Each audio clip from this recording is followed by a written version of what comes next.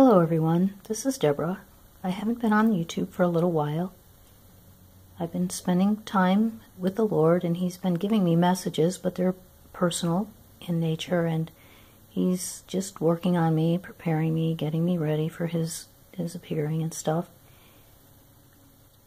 I don't know. I've shared with you guys before. It's kind of difficult for me to come on YouTube and share things that I believe the Lord has been saying to me you know, quite a few years ago now, it's been probably 10 years, I was given a prophetic word from a man, and he said to me, People don't understand you.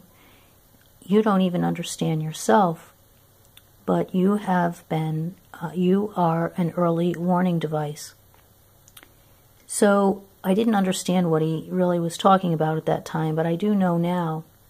But I can tell you that I am not comfortable in this position and I question myself and I question the Lord and um, I'm constantly looking for confirmations and the Lord has been faithful to give me confirmations especially after I deleted some of my um, videos early on and um, he was he was um, gracious enough to forgive me and to make a way for me to put them back up on YouTube so, but I still, I have difficulty with the timing of things. And, you know, the Lord has shown me in the Old Testament when Zechariah or Jeremiah or Isaiah or any of those, and I'm not comparing myself to them, but when they would give messages from the Lord, it took quite a while for those words to come to pass. So I'm just um, letting you know that we need to be aware that God's timing is not our timing. And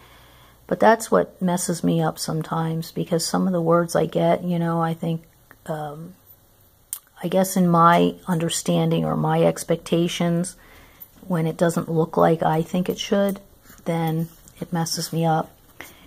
And that's where uh, I fail the Lord. And I did a video about that, and the Lord had given me a song, Carry On, My Wayward Son. Um, There'll be peace when you are done. And what he was showing me was that I will overcome, I will be able to overcome the fears and the doubts of my own soul.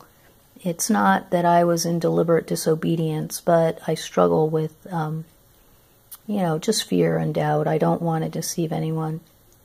So, anyway, I woke up on January 2nd singing a song, and I only knew a few of the words, and when this happens, I always know it's the Lord because I, I wouldn't have thought of this song. It was a song that was that I had heard when I was a little girl. I didn't even really know the the context of it or anything, so I had to look it up. And what I found out was pretty interesting and pretty neat. Um, just God is so good to me. Um, this song was sung by a man named Gene Kelly in a movie I don't even know what the name of the movie was, but he sang the song to a girl, an actress named Debbie Reynolds. And the Lord has shown me over time that when he gives me a song, that even the meaning of the singer's name has significance to the message. So after I read, the, after I looked on YouTube to find the lyrics of this song, I was able to also find the meanings of Gene Reynolds' name and Debbie, or I mean Gene Kelly's name and Debbie Reynolds' name. And here are the lyrics I'm singing in the rain, just singing in the rain. What a glorious feeling, and I'm happy again. I'm laughing at clouds so dark up above. The sun's in my heart, and I'm ready for love. Let the stormy clouds chase every one from the place. Come on with the rain. I have a smile on my face. I'll walk down the lane with a happy refrain, just singing, singing in the rain, dancing in the rain. I'm singing and dancing in the rain. And when I looked up the name, the meaning of Gene, it means well born nobility. And his last name, Kelly, means warrior or fighter. So to me, that spoke of Jesus Christ because he is definitely well born in his nobility. He's the King of Kings and Lord of Lords. And he's coming back as a warrior to destroy the work of the enemy. and he was singing the song to Debbie Reynolds. And my mother had told me when I was younger that she had named me after Debbie Reynolds, so I knew that the Lord was singing to me. And Reynolds means powerful ruler, counsel, rule, brave counselor. And I already knew the name of Deborah, which means bee, and Father had told me that he that I was named Deborah for a reason, and he also let me know it was because she was a judge. And she ruled during the time of judges. So what he was doing in this song was encouraging me that I had not disqualified myself, and that's one of my biggest fears is that I'm going to mess up, and that he was singing this song to me, and that I would be that I would rule and reign with him, just as those of us who follow him and are obedient to the best of our ability with the help of the Holy Spirit. When he comes to rule on the earth, we will rule with him. And so that was the message to me. And the Lord gave me one more confirmation. A couple days later, I went to Heather Lee Castro's channel, and a lot of the things she receives from the Lord is confirmation for me. And surprisingly, she had just had a, made a video a few days earlier of a vision she had. And in the vision, she saw a large gray umbrella in the sky. And Jesus came out from under the umbrella, and he was riding on a white horse, and there were storm clouds all around. And um, there was a rainbow. I don't know if he was, I don't know how the rainbow tied in, but anyway, there was a rainbow. And we know that the rainbow was a promise of God that he would not ever destroy the earth with water, with a flood again. So all these things tied together, and it was very, very comforting for me, and it was an encouragement, and I hope it encourages you.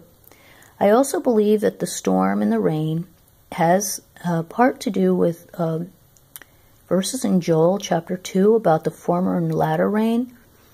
And he has told me before that when the storms come, we will be protected. And those of us who have been chosen and have followed him uh, faithfully will be transformed and used during the storms to help those that were not ready. And we will bring in this harvest. So in verse 23, it starts by saying, Be glad then, ye children of Zion, and rejoice in the Lord your God, for he hath given you the former rain moderately and he will cause to come down for you the rain, the former rain, and the latter rain in the first month. And the floor shall be full of wheat, and the fat shall overflow with wine and oil. And I will restore to you the years that the locust hath eaten, the cankerworm and the caterpillar, and the palmerworm, my great army which I sent among you.